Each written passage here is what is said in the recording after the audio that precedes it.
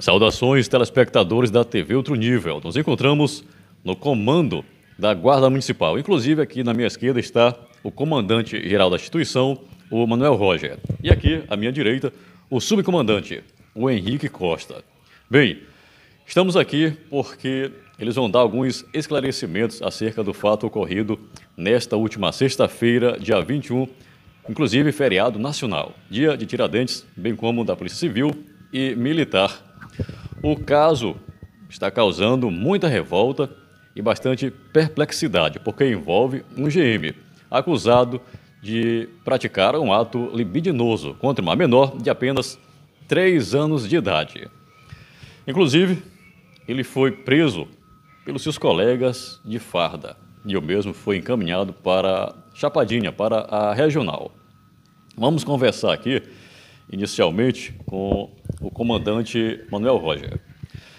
Comandante, primeiramente, agradecendo pelo senhor ter aberto aí um tempo na sua agenda para poder conceder essa entrevista para a imprensa, o intuito maior de esclarecer o que de fato está acontecendo.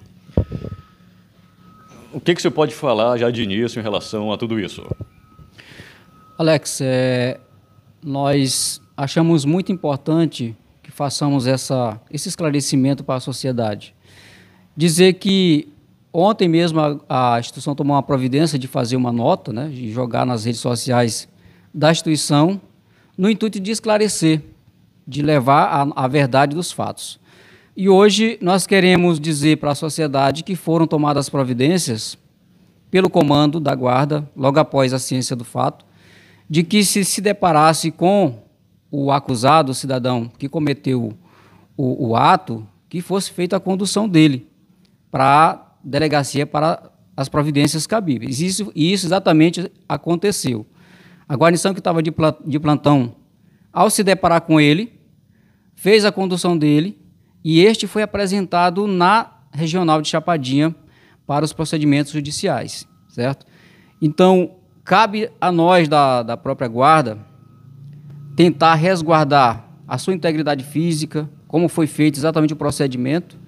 E a partir de agora, nós vamos tomar as providências cabíveis administrativa, que cabe à Guarda Municipal, a fim de que se seja apurado toda a questão disciplinar, inclusive.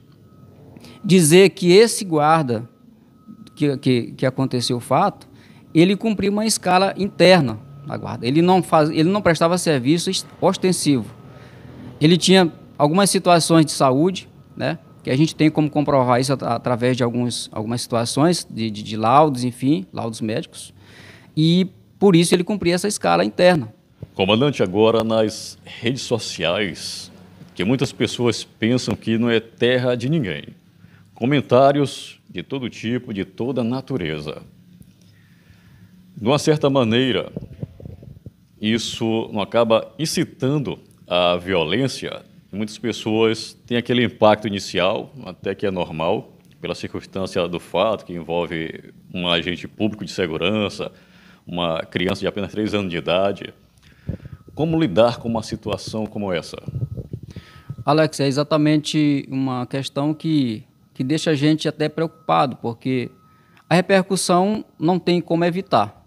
A repercussão foi muito negativa, inclusive para a instituição, e nós queremos aqui enfatizar para a população de Urbano Santos e a população de bem conhece, sabe do nosso trabalho, que a gente tem prestado um trabalho excelente para a sociedade. E não é exatamente um fato desse, um fato isolado, que vai jogar por, por terra todo esse trabalho que a gente faz. A Guarda Municipal vai continuar fazendo esse trabalho. A repercussão da rede social, ela de uma certa forma um pouco que é, danosa para a gente, mas a gente está aqui para reverter isso com trabalho, com o serviço diário que a gente vai prestar para a sociedade, vem prestando há algum tempo e a gente vai continuar prestando esse, esse trabalho sim. A gente vai fazer o um encaminhamento da situação dele para o órgão de controle, que é a ouvidoria e corredoria da Guarda Municipal, para que seja apurado. Inclusive, ele já, ele já vai ser afastado das funções, né? ele já está detido e ele vai cumprir esse afastamento a partir da nossa determinação aqui interna. Vamos agora pegar a palavra do subcomandante da GM, o Henrique Costa. Essas providências elas são necessárias, são cabíveis e o momento não só pede, mas exige isso. Sim, Alex. As providências legais, como o próprio comandante falou, foram de imediata é, feita ontem, né, a, a, parte criminal, que era é, conduzir o, o guarda municipal para a delegacia, para a autoridade policial, que é, ontem é, foi a, a regional Chapadinha, né?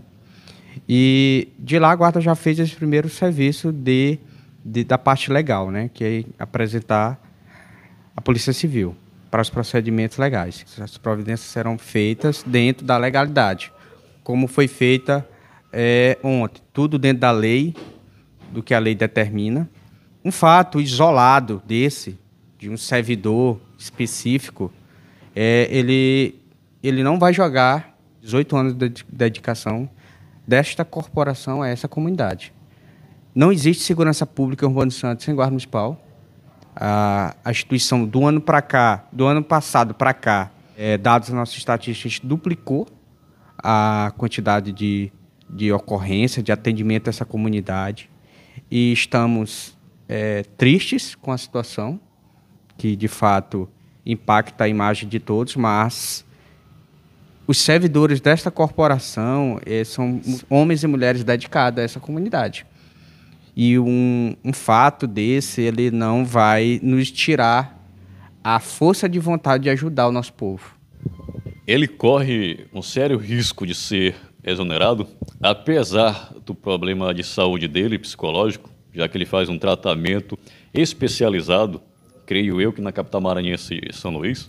Com relação ao, ao procedimento administrativo, vai ser apurado pela corredoria, e só após a, o trâmite legal que será, é, de fato, analisado o, o que será feito pela apuração da, da corregedoria. Né?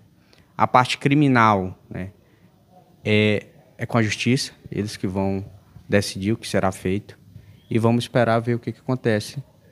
E o comando dessa instituição, ela, ela, ela é enérgico com qualquer tipo de situação de indisciplina ou qualquer tipo de, de, de atitude de qualquer servidor que vá de contra ao que está na legislação. a gente tem observado que o senhor está visivelmente aqui abalado, até pela tom da voz é perceptível.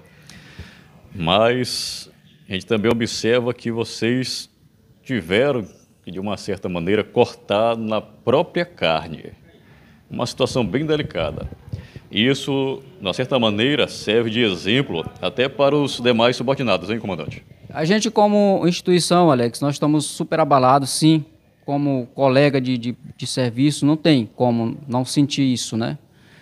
E, mas, ao mesmo tempo, a gente tem que ter pé no chão para enfrentar o desafio, que é grandioso nesse momento, reerguer a nossa instituição, que, como o nosso comandante falou, tem um trabalho importantíssimo na sociedade Urbano Santos, e a população que é o principal julgador, sabe disso. Né? A gente tá, vai continuar com o nosso, nosso trabalho. E aqui nós queremos, inclusive, agradecer o seu canal que faz esse trabalho de divulgação do, da, da, situação dos trabalhos da guarda, né? tem feito bastante essa divulgação no, das nossas ações. E, ao mesmo tempo, aqui me reportar a família da vítima, a família da criança que foi atingida por essa situação lamentável. Né? A gente dói o coração, como pai, como mãe, todos nós sabemos disso e queremos, se couber nesse espaço, um pedido de desculpa. A gente quer externar esse pedido de desculpa a ela, à família, nesse momento tão difícil que a gente está passando da nossa corporação. Um sentimento que é difícil de explicar para todos nós como ser humano. Ah, nós somos, nós somos guarda municipal e a gente recebe muitas das vezes as críticas, mas também recebemos elogios. E é importante a gente enfatizar isso. E nós estamos aqui para dar continuidade a esse trabalho tão belo que a gente faz para a população de Urbano Santos. E a resposta foi bem rápida por parte da Polícia Militar, Polícia Civil e, e principalmente pela prática da Guarda Municipal, e acabaram prendendo e conduzindo um colega de farda. Para finalizarmos as suas considerações finais. O que tiver ao nosso alcance para ajudar a família nesse momento difícil de dor, estamos à disposição, já, já deixamos claro para a avó da, da, da criança e dizer para a comunidade que nós não vamos deixar a nossa comunidade. Estamos sim abatidos, é, consternados com a situação, mas o nosso trabalho, a instituição é maior. A instituição é maior do que qualquer guarda municipal aqui. E a nossa missão é servir com cidadania, é ajudar o nosso povo. E nós não iremos jamais deixar essa comunidade a mercê, né? É toda uma situação de valores e jamais iríamos passar a mão na cabeça de ninguém, como ando falando nas redes sociais, que a guarda está amenizando tal situação. Nós não estamos amenizando nada, estamos falando a verdade. E tanto que a guarda deu resposta imediata. Não temos nenhum tipo de receio de cumprir o que está na lei, seja a, a quem doer, seja a quem, a quem for, pode ser um subcomandante, um, um comandante, um inspetor, qualquer guarda municipal terá a sua conduta analisada e se cometer algum tipo de ilícito, vai pagar, ah, vai pagar pelo, pelo seu crime, né? Ok. Uh, comandante, e as suas considerações finais? É exatamente enfatizar aquilo que eu já estava falando, né? Que a Guarda Municipal vai continuar o seu trabalho né, de cabeça erguida. O fato aconteceu e a gente tem que superar esse desafio e, e nos colocar sempre à disposição da população, como a gente sempre fez, né? São 18 anos de trabalho muito bem executado e a gente vai continuar nesse intuito de levar o melhor para a população de Urbano Santos. Ok, e se porventura você tiver conhecimento sobre situações semelhantes a esta, denuncie, venha até a Guarda Municipal. Denuncie também no Conselho Tutelar, Polícia Civil, Polícia Militar, bem como na Promotoria de Justiça. TV Outro Nível, a TV dos grandes eventos e também acontecimentos.